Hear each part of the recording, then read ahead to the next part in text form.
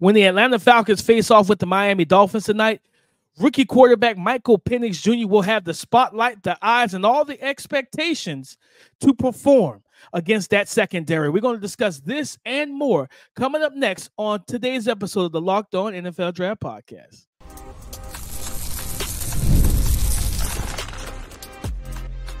You are Locked On NFL Draft, your daily podcast covering the NFL Draft, part of the Locked On Podcast Network. Your team every day. What's up, Locked On family? Welcome back to the Locked On NFL Draft Podcast, your daily podcast covering your favorite draft prospects, part of the Locked On Podcast Network, your team every day. I'm your boy Damian Parson. You can find and follow me on X at DP underscore NFL. I'm a senior draft analyst, and thank you for making Locked On NFL Draft your first listen today and every day. Shout for being our every Dayers. I got to kick the intro to Mr. LSU himself, Keith Sanchez. You can find and follow him on X at the Talent Code. You talk to him, baby? What's up, Locked On family? Let's get locked in. This is Keith Sanchez, 2019 national champion, and the other side to this dynamic duel that we like to call the Locked On NFL Draft Podcast. Well, I want to start this podcast off by saying shout out to our everydayers. Thank you for tapping in with us each and every single day. Listen, if you can hear my voice, go ahead and hit that like button. Don't forget to comment after each segment, and make sure you're subscribed to the YouTube channel over at Locked On NFL Draft DP preseason preview. We have three really good matchups. We have the Atlanta Falcons versus the Miami Dolphins. We have the Houston Texans versus the Pittsburgh Steelers on tap, and then we have those Philadelphia Eagles versus the Baltimore Ravens. So we're going to talk about all three all three matchups, talk about some of these draft prospects. We might throw in a couple of 2023 NFL draft prospects that haven't quite played yet to that standard, right? That we may want to see in these preseason games. But before we get started, DP, why don't you hit them with our title sponsor? LinkedIn Jobs helps you find the qualified candidates that you want to talk to faster. Post your job for free at linkedin.com slash lockdown NFL. That's linkedin.com slash lockdown NFL to post your job for free. Terms and conditions apply. Keith, the Atlanta Falcons. I, I know there's a lot of Falcons fans who are going to be excited to potentially and hopefully see their starters, Kirk Cousins, Drake London, Kyle Pitts. But I got to go to the to the rookie, man. The number eight was number eighth overall pick, uh, Michael Penix Jr. I want to see same what we talked about with Drake Maye and everything. I want to see as much of Michael Penix as possible, right? Not not saying that I don't care about seeing Kirk Cousins. I know what Kirk Cousins is. When he's healthy, he's a good quarterback. I know what he's going to be able to do. And with these weapons, their offense should be lights out, explosive, dynamic, and put up points. I want to see Michael Penix go out there. The last time we saw him play was at the Senior Bowl right? He didn't play in the game. He just practiced for what two or three days. But the last full game we saw him was against Michigan in the national championship game, right? So I want to see him out here with these kind of backup receivers. You think about KhaDarel Hodge, um, you know, the young kid, you know, a receiver out of Illinois, got it. I liked big. I think he's like 6'2, 210 plus pounds. I think a 4'4 athlete, Casey Washington, a guy that knows how to play above the rim, body control, contested catches, back shoulder fades, but he has the vertical speed to win down the field. I want to see what, what Michael Penix looks like in the in-game situation, see how quickly he can get the jitters off and okay, settle in, things of that nature. They're going, you of course, they have a plethora of running backs behind Bijan, but I'm excited to see Michael Penix Jr. Yeah, I, am excited too. I just want to see what he looks like in the NFL. And you talked about our last glimpse of him, right? It, it, wasn't great. You know what I'm saying? The situation yeah. with Michigan versus Washington, um, and, and gave people a lot of skepticism. But I want to see him in this offense, and I and I think if it's what we've seen at the Super Bowl, should be an efficient quarterback. See him move around a little bit, right? With some of these bootleg type situations, these mm-hmm. um structured plays to where the quarterback is supposed to get out of the pocket.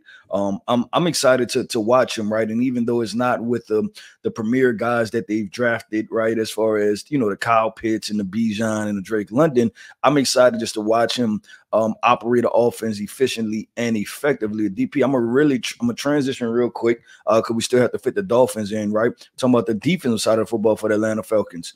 Ruke Orhorhoro right? A guy that I'm extremely excited to get eyes on. Uh, was one of my favorite draft prospects um, in this past draft class. And then it's going to be one thing I'm going to be paying attention to, DP. And it's probably the thing that you've been most critical about the Atlanta Falcons. it's this edge rusher situation, right? Yeah. Um, I want to see who emerges out of Bralen Trice and Arnold Ebiketie, right? Like, like who's who's going to be the starter? Arnold Ebiketie, I think, is heading into year three. Uh, Bralen Trice is a is a rookie. Uh, wanting to see which one of those guys really step up and start to look like they can be edge one for the Atlanta Falcons. No, hundred percent, Keith. You talk about Ruke Brandon Dorlus, who they drafted. They yep. double. They went three straight defensive linemen with Ruke, Dorlus, and then um, you know, like you said with Bralen Trice. And I'm I'm looking forward to seeing all those guys because at the end of the day, you got to you got to be able to get pressure off the edge.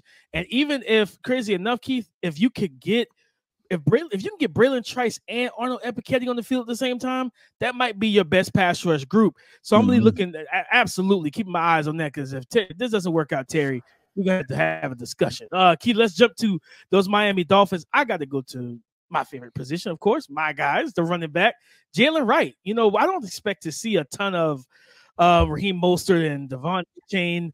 I think Jaylen Wright could come out there and, and really showcase – everything he did at, at Tennessee, that game breaking speed, 4 3, that track star type of speed in open field, but a guy that also had good contact balance for the most part. Looking forward to seeing him.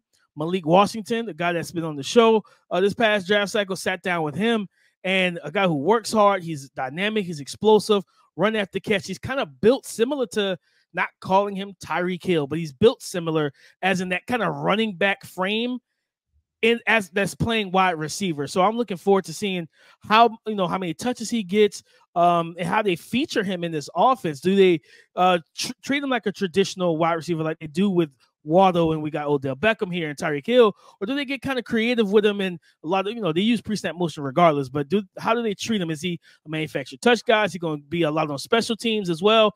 Looking forward to to how that works out. Keith, I, I had a feeling you might be looking at somebody in the trenches that was drafted a little higher than we expected. DP is, is actually a couple guys, but yeah, I'm, I'm, gonna start with uh, Patrick Paul, right? Um, definitely went higher than what we expected at the end of the day. Um, and we'll see. I mean, because they, I, am assuming that they have an offensive tackle need, right? I mean, they have Austin Jackson on one side, Terron Armstead, but you still you drafted Patrick Paul, um, fairly high, right? And you're talking about a developmental project at the offensive tackle. Well, that's how I felt about him yeah. as a draft prospect. So that'll be interesting to see just how that plays out. But honestly, just to watch him, right, to see if this is a transition type of player, right, or or what what is their plan because they drafted him high. So you you have to have a plan of potentially getting them on the field. That's the only thing I could think of. DP, I want to go with the other guy I want to talk about before we have the transition is defensive back Cam Smith from South Carolina, who this mm. past year he didn't play much, and there was not a lot of reason to why he didn't play much. Uh, I remember looking at it when we did our team uh, situations, right, and, and we had to evaluate the teams, and it was just like I remember there was some quotes from head coach uh, McDaniels and he was just kind of like he's just not ready yet right? And I, and I don't know if it's a it's a knowing of the playbook eye discipline whatever it may be but he's a key element to what they're trying to do and talking about moving forward right? Because they have mm-hmm. Kendall Fuller on one side Jalen Ramsey but Cam Smith was one of those height weight speed guys right? That can run that was fluid hips that was quick twitch that can play man to man. So he would add a whole nother element. So Cam Smith is definitely somebody I'm looking forward to see if he plays a lot in the preseason no, hundred percent, right? Like, cause you know, losing Xavier How Xavier Howard, who they released this pat early in the offseason, right? They had some cap issues. They they let him go out of his contract. You're gonna need somebody to play opposite of of Jalen Ramsey, and that's what you hope that Cam Smith, who they drafted, what 2020, like second round in the 2023 mm-hmm. NFL yeah, draft, he drafted like high. Pick 23 is I mean pick 53 or something like that. Yeah, pick like, 51. So, you invested a decent uh, draft capital in him. So talk about, but you know, last two guys, Keith, Chop Robinson, right? You know, him and Mohamed Kamara, they doubled down mm. on the edge rush in the 2024 NFL draft. That's a good call, right? those DP. That's a good call. Like, to to you know that they lost Jaelan Phillips to an ACL, they lost Bradley Chubb to an ACL last year, and it was just like, man, like that. That's you hate to see that, but then they said, okay, let's prevent this. Even when those guys come back, we have enough depth and talent and youth to where we're not going to have to deal with any type of problems if it if they don't start the season. So Chop Robinson and Mohamed Kamara, I want to see those guys fly off the edge, man. Pin their ears back, and if they're on the same if they're on the same team in terms of first and second team, if they're out there with Cam Smith, make his job easier. Get back there, pressure the quarterback, and make him get the ball out. Let's see if Cam Smith can make some plays on the ball and coverage. Yeah, I agree 100% with DP. Let's keep this thing going. Let's keep it flowing, man. We are on to the Houston Texans versus the Pittsburgh Steelers. See that matchup. Obviously, there's going to be a little quarterback intrigue, right? But we're going to talk about the rest of the players. Also, those rookies and those second year players coming up next. Passion, drive, and patience, the formula for winning championships, is also what keeps your number one ride or die alive eBay Motors has everything you need to maintain your vehicle and level it up to peak performance. Superchargers, roof racks, exhaust kits, LED headlights, and so much more. Whether you're into speed, power, or style, eBay Motors has you covered. With over 122 million parts for your number one ride or die, you'll always find exactly what you're looking for. And with eBay Guaranteed Fit, your part is guaranteed to fit your ride the first time, every time, or you get your money back. Why? Because with eBay Motors, you're burning rubber and not cash. With all the parts that you need at the prices you want, it's easy to make your car the MVP and bring home huge wins. Keep your number one ride to die alive at ebaymotors.com. Eligible items only, exclusions apply. eBay Guaranteed Fit is only available to U.S. customers.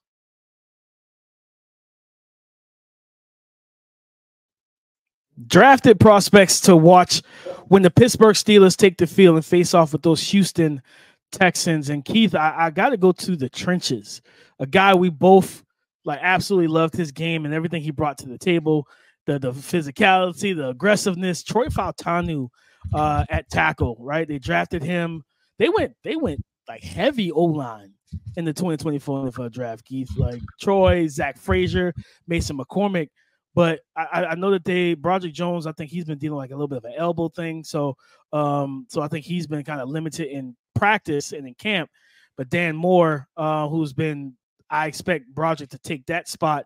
I think that's where it's trending to play the take the left tackle spot. And Troy has been this the, the talk out of camp that Troy was giving TJ Watt some trouble in in one on ones and playing right tackle, a position he's not known to play. So I'm looking forward to to seeing him and how he handles the the pass rush from Houston. Whether I'm not sure, I don't think Will Anderson is going to play, but they got Derek Barnett. They have some uh, plenty of veterans. You know, Mar, you know Mario Edwards who can play inside and out. You know, they got enough guys that can really test them.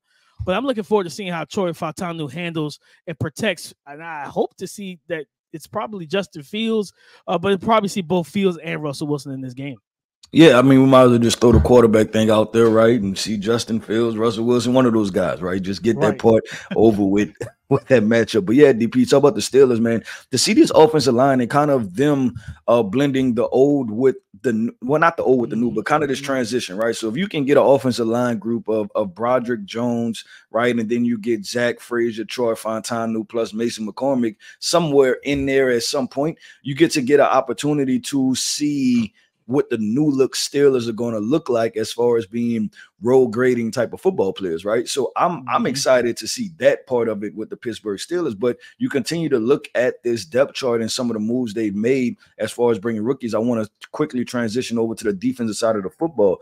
Um, my guy, right, Mr. Peyton Wilson, right? Everybody talked about he didn't have ACL. Well, guess what? Get my guy at ACL. He he can be legendary inside this defense. I always I, I keep saying is that I think you pair him and Patrick Queen up together, right? You put a young guy and a veteran together, and they complement each other very well. I believe that I think it could be a really good situation as far as uh, you know, watching Peyton Wilson, watching him move out there and watching him do some things. There's another young guy, DP, along this defensive front. I think he's he's going into his third year, right? But not as many snaps.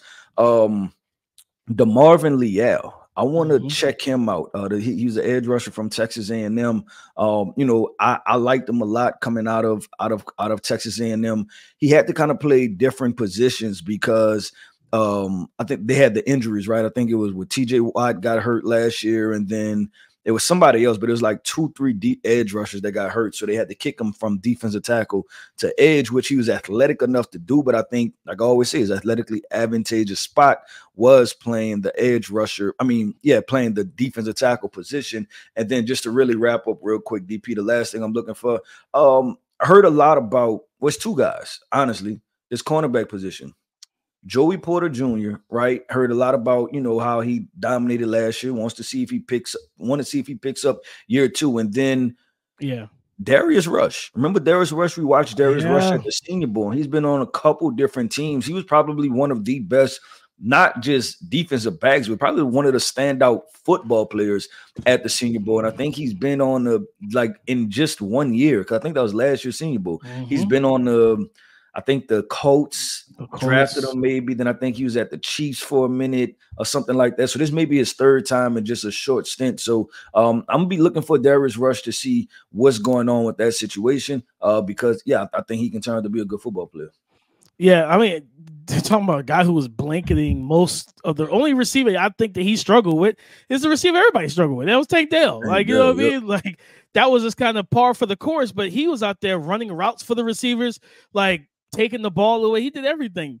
So I, am definitely that's a good call out, Keith. I'm a, I'm gonna stick with the DB right there for in that in that group. Cory Trice Jr. got it um per, looking at some of the reports uh, out of Pittsburgh saying that he's getting a lot of run in the dime package and they're hoping that he could potentially be that tight end defender you know dealing with like the Travis Kelce in the A, in, in the AFC you got Mark Andrews and David Njoku in the same exact division as you with the Browns and the Ravens. Also Mike Gesicki who's going to be the, who should be the starting tight end uh, for the Cincinnati Bengals with Joe Burrow, you kind of need somebody that has the size and athleticism and, and ball skills and length to be able to man uh, man up with those type of guys because it's very hard to put like a safety and a linebacker on them. I think he he has and fits the mold as that kind of take that tight end eraser if he can fill that role and develop into it. But also Nick Herbig, you know, a guy his crazy. I think his, his older brother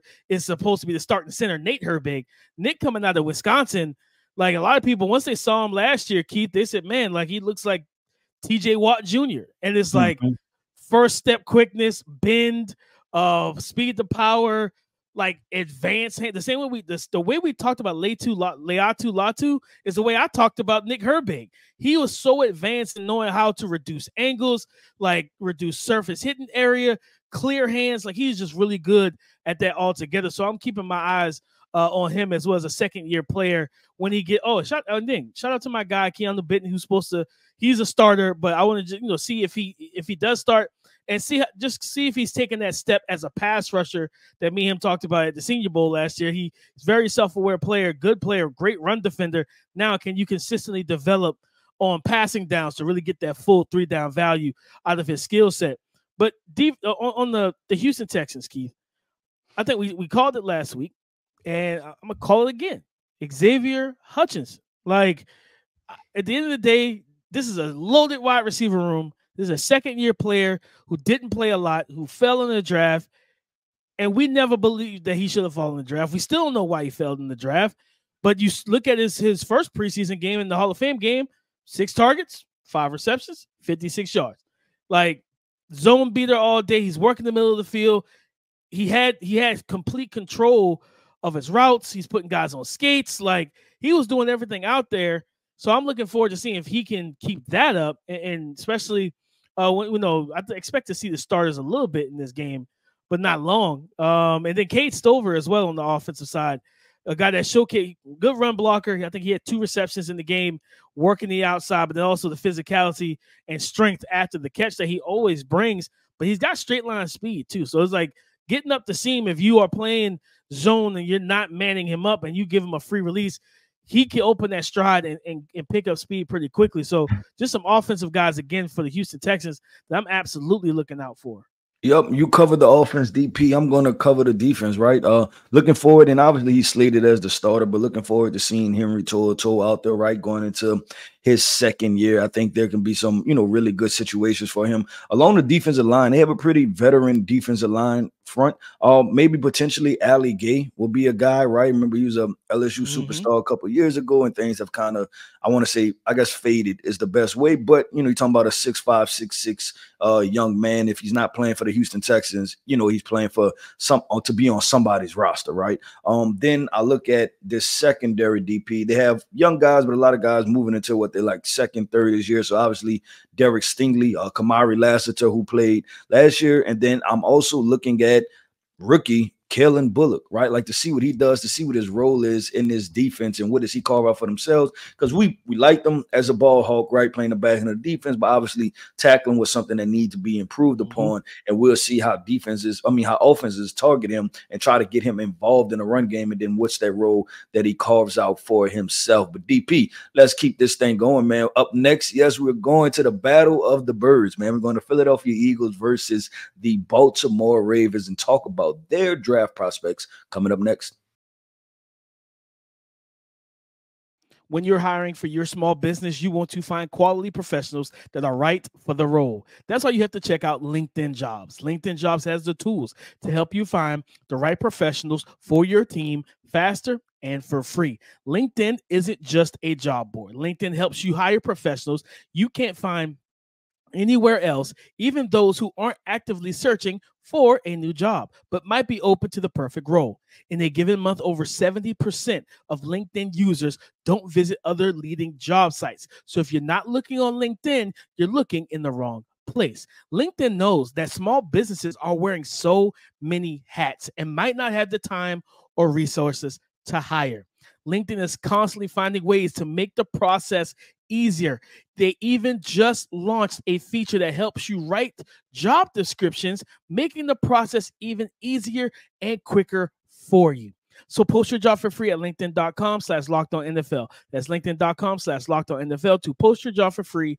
Terms and conditions apply. Today's show is sponsored by Better Help. Some of my self-care non-negotiables, guys, to be honest, never missing my monthly appointment with my therapist, making sure mentally I'm in the right place in my attitude. I'm able to unload and offload things that have been bothering me or troubling me, but also now getting myself back into the gym to make sure not only am I mentally healthy, but my health is correct and I'm fitness, my fitness is on par and on track.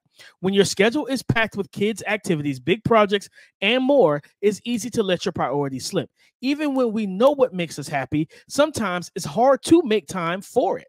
Guys, if you're thinking about starting therapy, give BetterHelp a try. It's entirely online and designed to be convenient, flexible, and suited to your schedule. Never skip therapy day with BetterHelp. Visit betterhelp.com slash locked on today to get 10% off your first month. That's BetterHelp, H-E-L-P dot com slash locked on. Thank you for making Locked On NFL Draft your first listen today and every day. Shout for being our everydayers. The Philadelphia Eagles prospects from the 2024 and even 2023 NFL draft class that you need to watch. We got to go to what what what round was it? Sixth round, 185th pick. Keith, a guy that we both saw as a day two prospect at worst, Johnny Wilson, a guy that they say he's been ripping and running in camp, absolutely killing it, and he's even gotten snaps, a lot of snaps in training camp with the ones, and potentially he's going to be their wide receiver three. I want to see him. Even if he's if that is the case that he might be their wide receiver three, I still want to see as much of him as possible, right? Just how they use him right? With with uh, Nick Sirianni and everything. Um, I think is it Kellen Moore, the OC now? Mm-hmm. Um, yep. You know, coming from Dallas, and I think with the Chargers last year, how do they use the big six foot six, 235, 40 pound wide receiver that I'm not, if I'm not mistaken, I think he ran a four five somewhere in there. He showed good speed in the 40 for the most part. So with Johnny Wilson, I want to just see where they line him up, right? Like I think he fell to to the sixth round, Keith, because he wouldn't take the I'm gonna play tight end role. Like he, he was like, no, I'm a receiver and I'm not gonna move off of that. And teams are like, okay, that's fine. So for him, I just want to see how they use the big fella. Do the, is he outside? Is he in the slot? Is he moved in motion?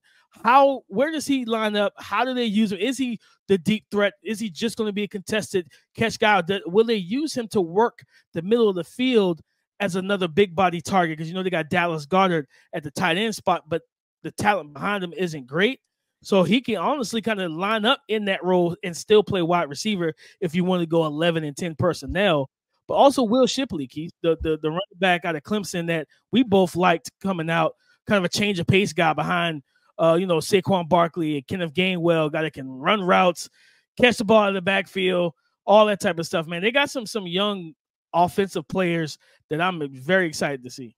Yeah, I, I agree with that 100%. DP, I'm going to go to the defensive side of the, I mean, not the defense, I'm sorry, the offensive line, the trenches is what I wanted to say because they have some some young guys, DP, that are going to have to play some pivotal roles, right? You're talking about Jason Kelce retiring, boom, Cam Jurgens is now the starter, right? Um, Tyler Steen, the kid from Alabama last year, listed as the starter at left guard, another young player, you know, that we evaluated through the draft. I, I, I thought he was fairly good and think he can be a starting offensive tackle in NFL. Then I'm going to talk about two of the more intriguing draft names, DP, that they have as backups Mekhi Becton and Darian Kinnard. That combination in itself, right? Like that's I, I mean, you talking about guys with high, pretty good athleticism, right? And it's just they just a lot. There's a lot going on. I think that's the best way you could put it, DP, when it comes to talking about those two names. But I thought that was rather interesting backups that they had as far as you know who those guys were coming out in the draft and then the draft process yeah. and then